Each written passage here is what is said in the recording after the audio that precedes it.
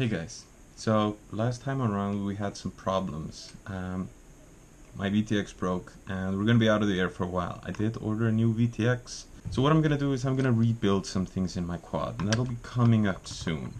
Uh, but until then we have something to take a look at. Um, is my new charging system. I'm actually gonna build a dedicated charging system because what I've been doing is um, I've just been charging my batteries of very simple sort of uh, charger. It goes up to like 4.2 volts, no discharging or anything like that. So I got a new system and I'm gonna show you what I've got and I'm gonna show you uh, the installation, how I set it all up. So the main unit is this. It is an ISDT Q6 uh, 300 watt charger. Uh, now this is a very tiny charger, right? So it can charge one to six cells and can do up to six LiPos at a time. Now I'm gonna com be combining it with uh, this, I guess, what do you call this? This is a parallel charging board, I guess. So this has a slot for six LiPos. Um, and that's all gonna be powered with this Chinese um, 300 watt power supply. So what I'm gonna do today is I'm gonna connect everything, show you how I do it, and then um, I'll follow up with sort of a little bit of an installation. I'm gonna try to put it all in one box, make it sort of a neat, neat unit that I can just bring with me wherever I want to go, and can use it to charge either at home or on the go. So that should be uh, one charging solution to meet all my needs. So let's get started. I'm gonna start by connecting these parts and uh, see how they work. Okay, so power supply. So let's get this all opened up. So the output will then go here, like so. The input is just very easy. We have an XT60 connector on both sides. We need our balance port. I'm guessing the balance port is going to go on this side, it seems. So this is how it's gonna look. Now we're gonna have to connect the actual charger to the power supply. Okay, so this power supply that came off Banggood uh, comes uh, with these connectors here.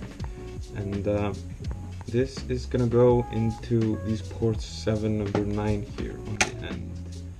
So we're just gonna get those unscrewed real quick so I can fasten this in. So that's gonna be these three here.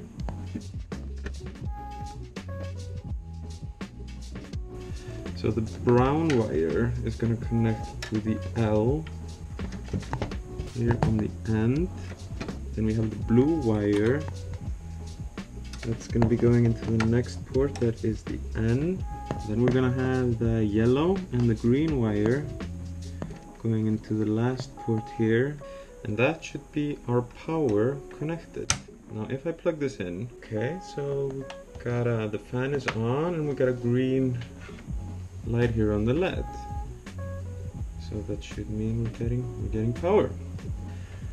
Now this ISDT charger just has these uh, has an X, XT60 plug which has these uh, red and black wires which are gonna go into the V plus and V minus. Now I believe it doesn't really matter which port you plug it into. I'm guessing that they all just output a positive 12 volts. So we're gonna go ahead and put this into ports 3 and 4. 3 being the red wire and 4 being the black wire. There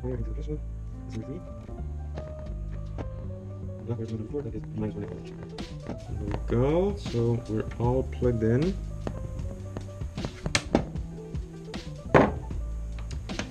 So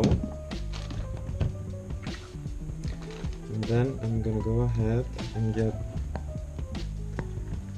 the XT60 to the charging board and the balance connector for the charging board also plugged in. They're gonna go like this. So we're gonna go ahead and uh, get this plugged in. Um, it says revolution starts here on my screen. I'm guessing this is some sort of plastic. That is weird though, I'm not seeing. Well, let's get it plugged in, see what happens. Three, two, one, pray.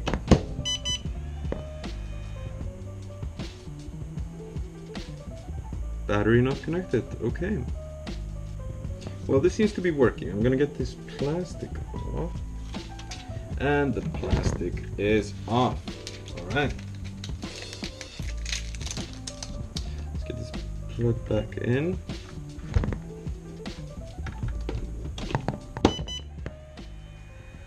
Q6. Okay, so we're gonna look at some of our info here. Current 1 ampere. Battery type LiPo, task charge. Go ahead and go back. Cell count, we're actually gonna change this. I have three cells only. I'm not gonna start charging. Yeah, here we get some info on the uh, on the unit itself. Uh, it's getting 12.1 volts from this thing. Uh, you can actually adjust this power supply. There's a screw on here in which you can adjust the voltage coming out. But I guess we don't really need that. So yeah, let's go ahead and get a battery plugged in. I believe I brought some batteries here. So. So if I understand this correctly, this up arrow means that these ports here on the side, these balancing ports, will be for this charger. So let's just get this plugged in and see what happens.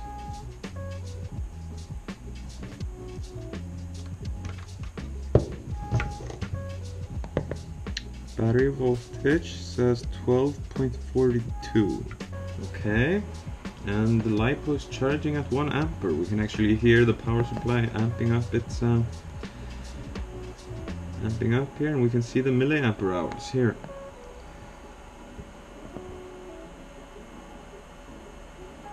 I'm just gonna go ahead and uh, stop this quickly. And we are back and the color of my shirt has magically changed. It is in fact the next day. I have gone out and gotten some more of the supplies we're gonna need for this. Um, so what I got is this box. This is gonna be my solution for charging. So the idea is that inside here right in the bottom, we are going to have the power supply. This will then slot over where we will have the ISDT charger itself, along with a parallel board, and then um, the batteries, you can sort of place the batteries on top of them. Okay, so I want to install a fan, uh, but I think I'm actually gonna let the fan installation wait a little bit. Uh, I thought I had some proper sized fans, but apparently I don't, so they're all way too big for this. I'm gonna do the uh, install everything else and then we'll do the fan afterwards. Alright.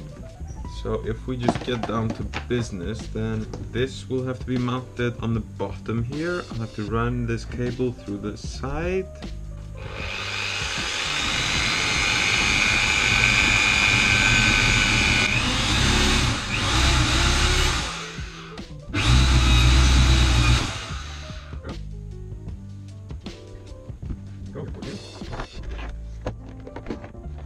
And uh, I'm actually just gonna glue this power supply in. Okay, so this is basically what it's gonna look like on the inside. Uh, then we're gonna have this panel come over here. And that is where we're gonna place the charger and the batteries. Right now, I'm probably not gonna fasten that in fully um, because I want to have a fully fledged cooling system in place. So I will just sort of loosely mount it in. So this was gonna it's gonna be what my charging solution looks like. And just power coming out the back here. Now for a more permanent installation, I'll probably lengthen up the cords of my ISDT charger and uh, so that it, it can be permanently mounted here and give a little bit of bit more room for the actual batteries and I'll also put in a fan for the cooling so that I can actually close this up when it's charging and prevent a little bit of the noise. So that's it guys, that's my charging solution and my overview of the ISDT Q6 charger. Um, it's working good, it's working nicely. I really like the charger and I like the setup and I like that I'm gonna be able to keep it all in just one simple box like this. Uh, maybe once I get a proper cooling system in place, I'll do a little bit of an update on that. But uh, until then, yeah, I hope you guys enjoy it.